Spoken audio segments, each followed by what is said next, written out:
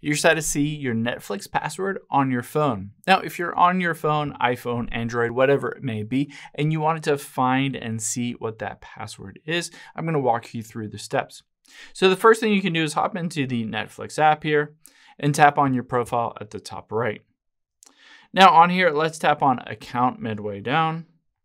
And this will bring up your account page. You can see right under your email address is your password and it gives you an indication of maybe how many characters or letters it is, but it doesn't tell you what that password is directly in the app. Unfortunately, that's just a security risk, so they don't provide that in the app. However, there is a way to find it on your phone still.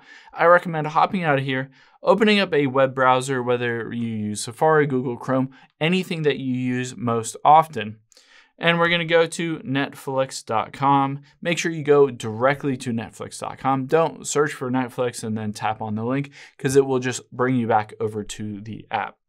So I'm going to hit go here. And at the top right, I'm going to hit sign in.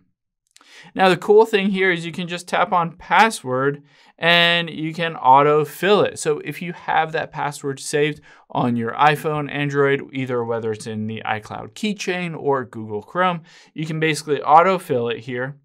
And then you can just tap and hit that show button and it will show you exactly what that Netflix password is. Then you can copy it and you can use it on another device if you just got a new tablet, a TV, whatever it may be that you needed to log into, a new phone. You can log into your account on that device without having to go through the whole step and process of changing that password.